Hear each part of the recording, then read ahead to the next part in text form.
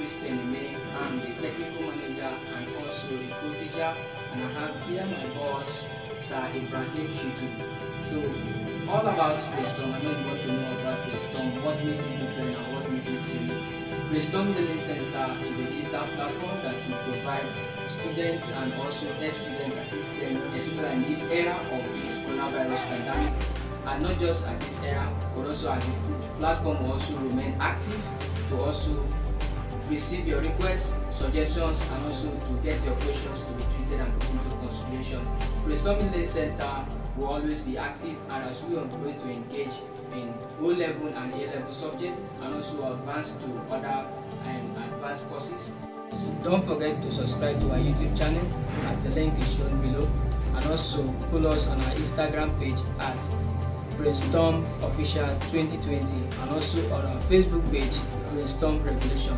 Thank you. Hope to see you hook up with.